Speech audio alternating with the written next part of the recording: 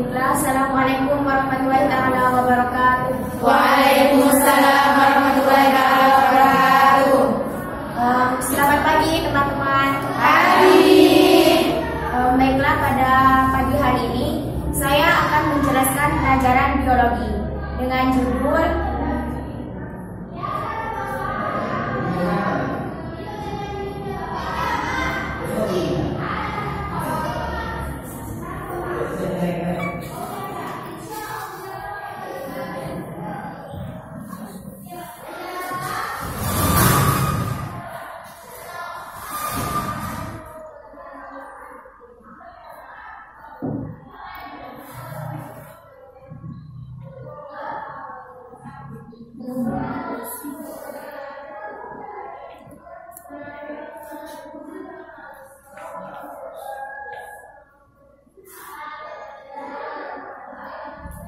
kegiatan manusia yang dapat menimbulkan masalah lingkungan.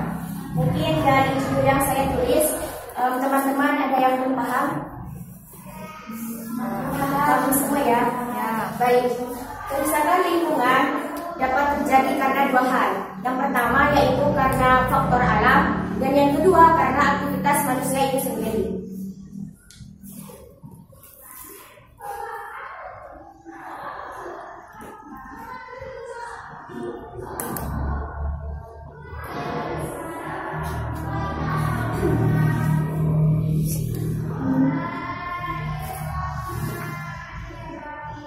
Faktor alam, Eh, mungkin dari teman-teman ada yang tahu dari faktor alam apa saja?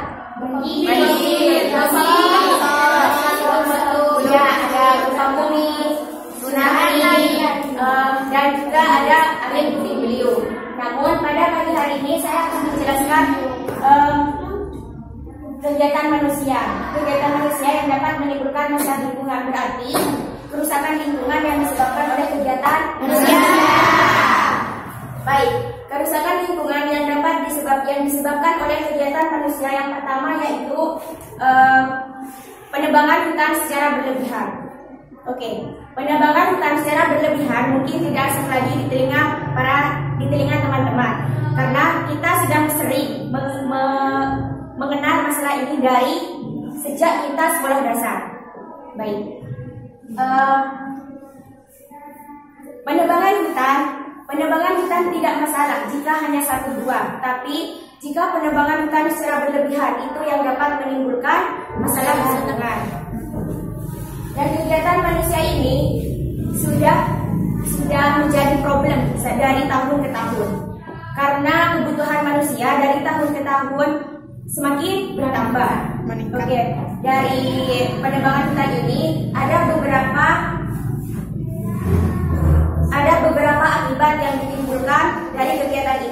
pertama yaitu kesuburan tanah berkurang dan terjadinya erosi. Kenapa saya mengatakan kesuburan tanah berkurang? Jika jika kita mem- me- menebang hutan secara berlebihan, kesuburan tanah berkurang karena tidak adanya kan di, di, di bumi sudah tidak ada pohon.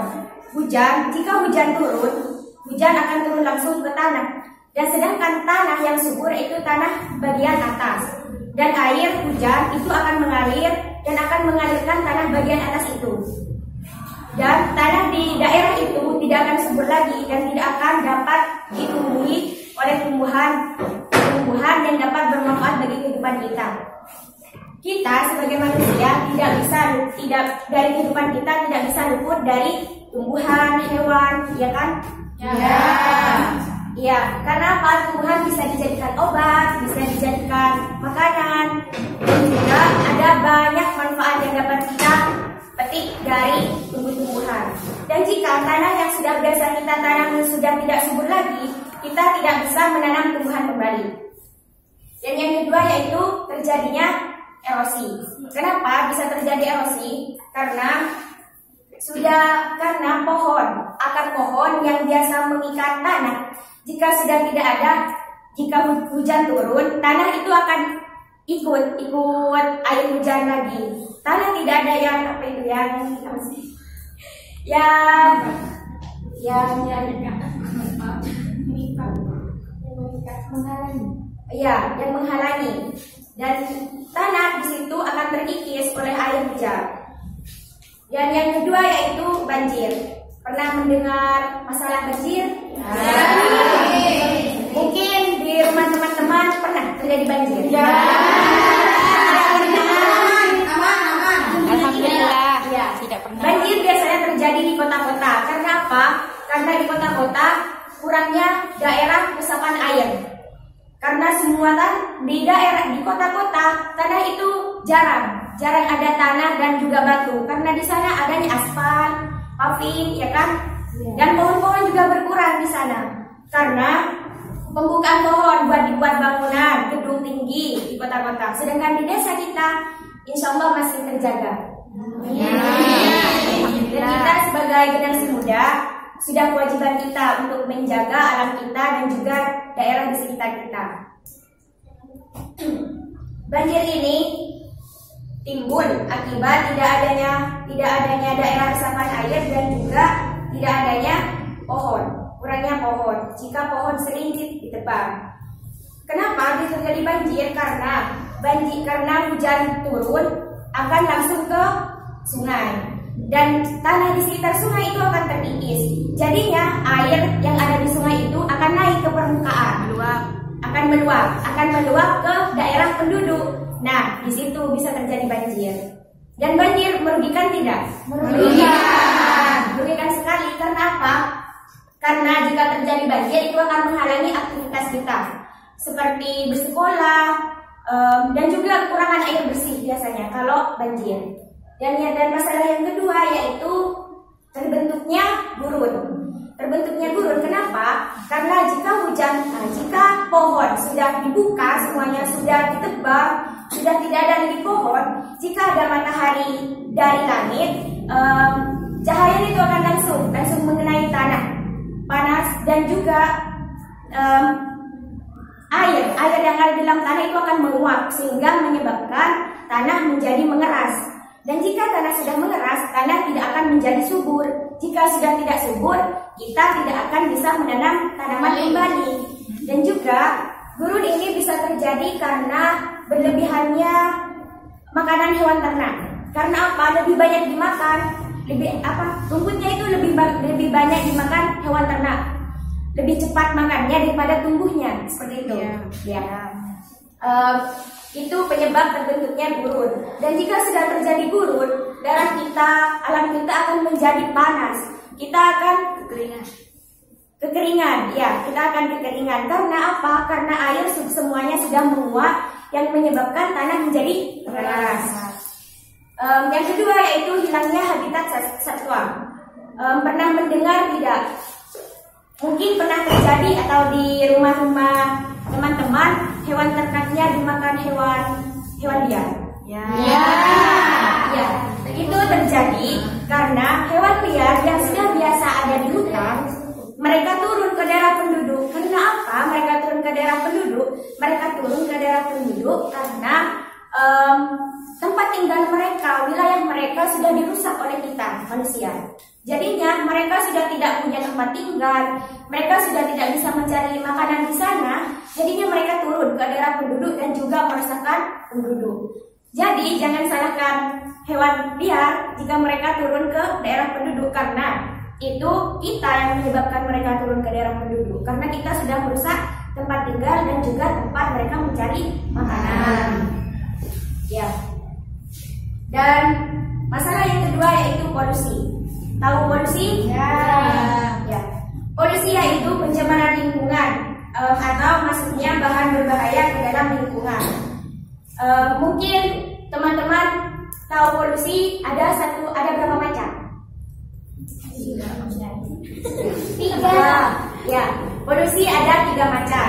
Yang pertama yaitu polusi air, udara, tanah.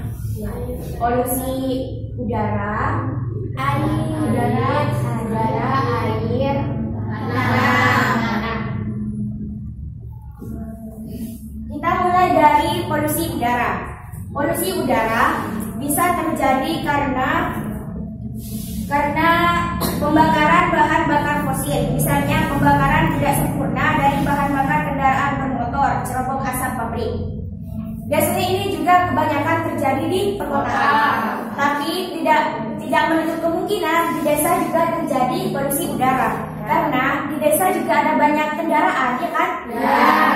Pabrik juga sudah mulai ada di desa satu dua, tapi lebih banyak di Kota.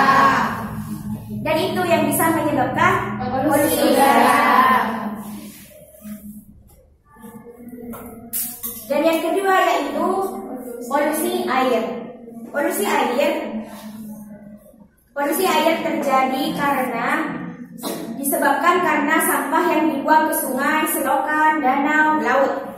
Mungkin orang pesisir ada yang biasa, mungkin ada rumahnya yang dekat pantai, dekat sungai, dekat selokan, mungkin ada yang biasa yang biasa membuang sampah, membuang sampah. Tidak.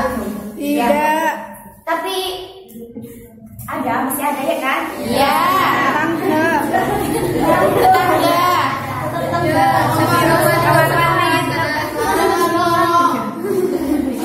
Nah, oleh sebab itu, biasanya jika air jika air daerah kita sudah tercemar oleh sampah, oleh apalah itu, intinya yang kotor-kotor itu yang bisa menyebabkan em, habitat habitat yang hidup di air itu akan merasa terganggu dan mungkin ada kemungkinan ada binatang-binatang yang mati, ya kan? Dan ikan-ikan akan berkurang jika coba saja.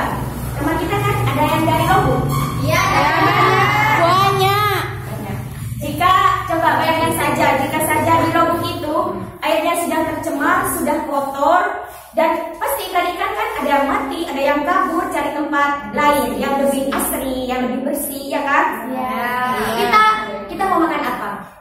Nasi. Cari ikan yang kabur. Tapi kan lima empat sehat lima sempurna, salah satunya ada Ikan. Tapi itu sempurna. Kalau kita tidak makan ikan, kesehatan kita tidak sempurna.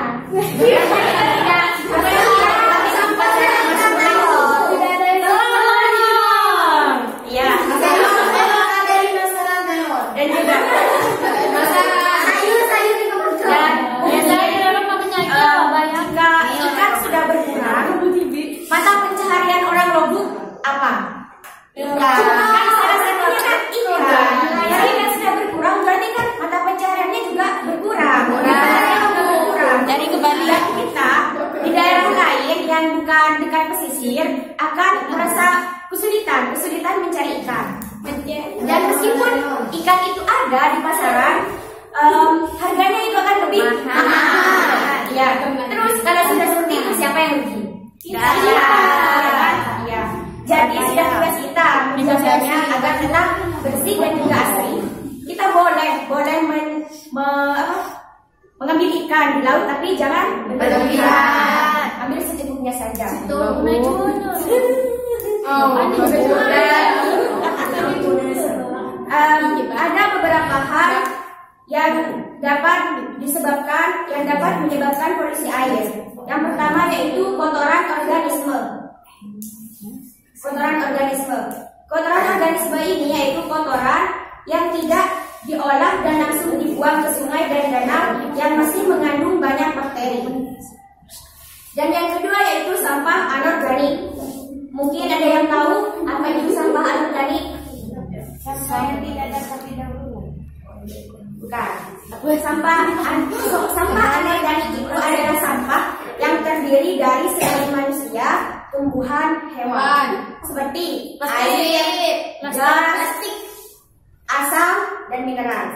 Plastik juga termasuk. Itu adalah sampah anorganik. Dan yang kedua yaitu, dan yang ketiga itu pupuk. Pupuk pabrik. Pupuk organik. Pupuk pabrik itu bisa menyebabkan itu bisa juga menyebabkan polusi air. Kenapa? Boleh boleh memakai pupuk pabrik, tapi tidak boleh berlebihan. Dan yang kedua yaitu pestisida. Pestisida yaitu adalah substansi kimia untuk membunuh hama yang merusak tanaman pertanian sehingga produksi pertanian dapat meningkat. Biasanya yang menggunakan pestisida ini adalah para petani.